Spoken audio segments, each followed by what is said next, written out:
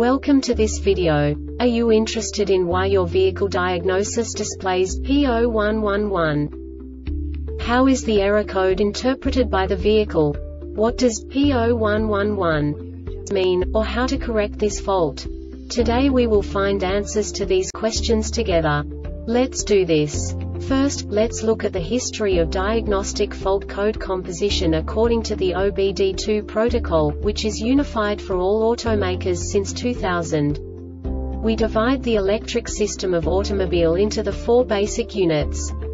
Powertrain, body, chassis, network. This distribution is defined in the first character code. If the second character is expressed as zero, it is a standardized error. In the case of numbers 1, 2, 3 it is a more prestigious expression of the car-specific error. The third character specifies a subset of errors. The distribution shown is valid only for the standardized DTC code. Only the last two characters define the specific fault of the group. Let's not forget that such a division is valid only if the other character code is expressed by the number 0. Our website airbagreset.sk produces useful videos for you.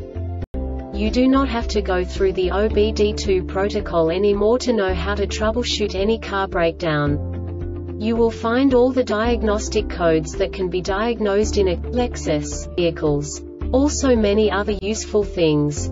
The following demonstration will help you look into the world of software for car control units. You unbelievably can move the video a bit further. The error code is split into two bytes consisting of 16 bits. One bit is the basic unit that each computer works with. The bit has two logical states.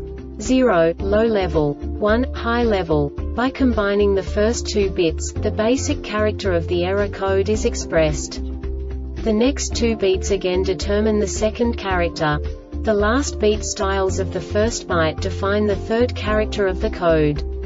The second byte is composed of a combination of 8 bits. The first 4 bits determine the fourth character of the code. And the combination of the last 4 bits defines the fifth character. A single byte conceals 256 possible combinations. We now know in what way the diagnostic tool translates the received information into a more comprehensible format. The number itself does not make sense to us if we cannot assign information about it to what it actually expresses. So, what does the diagnostic trouble code P0111 interpret specifically, Lexus car manufacturers? The basic definition is G sensor signal and now this is a short description of this DTC code. Abnormal longitudinal G sensor output signal hill start assist does not operate.